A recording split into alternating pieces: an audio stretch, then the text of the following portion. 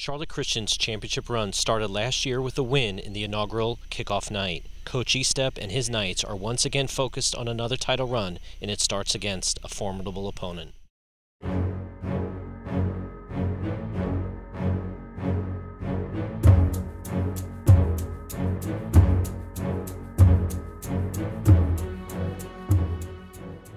Uh, we put in all our hard work this summer, and we're looking to come out and hit them with our best shot.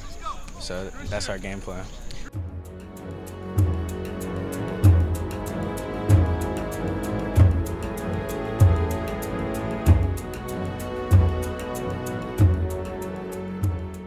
It's a lot easier, I think, that because uh, we know what to expect as far as facility-wise, what the layout is. We're obviously playing the later game, which should should help us a little bit more instead of being out in the heat.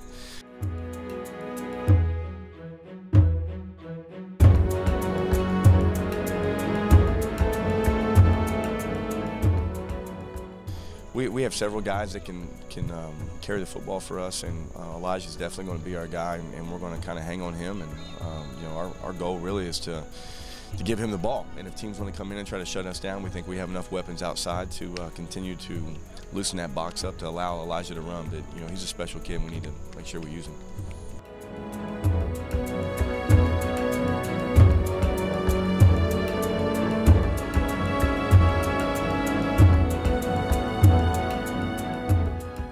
It's gonna be a fun game. It's gonna be a great game, and um, I'm excited. Last year, the Mallard Creek Mavericks stormed through their season, posting an undefeated 16-0 record and their first state championship in the school's short history. Since 2010, the Mavericks are 54-4 under coach Mike Palmieri, which makes one wonder how he keeps his team focused through all its success.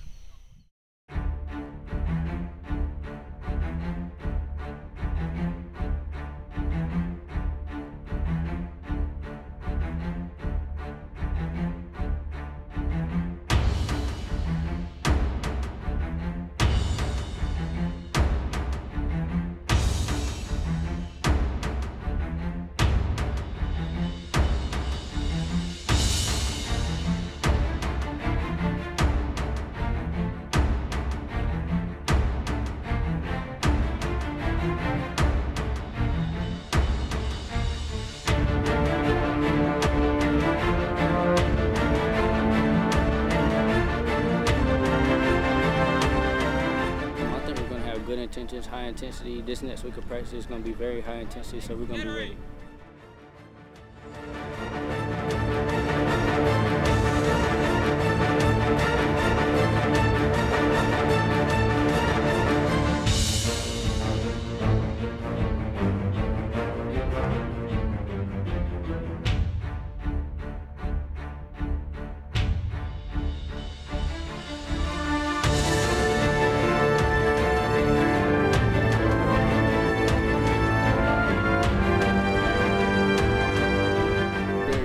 Senior year. So, you know, last year high school football against another great team, Charlotte Christian, Elijah DeVoe, and other, other great players on that team. So it's going to be a really great game, private school versus public school, state champion. So I'm ready to go ahead and rock on August 21st.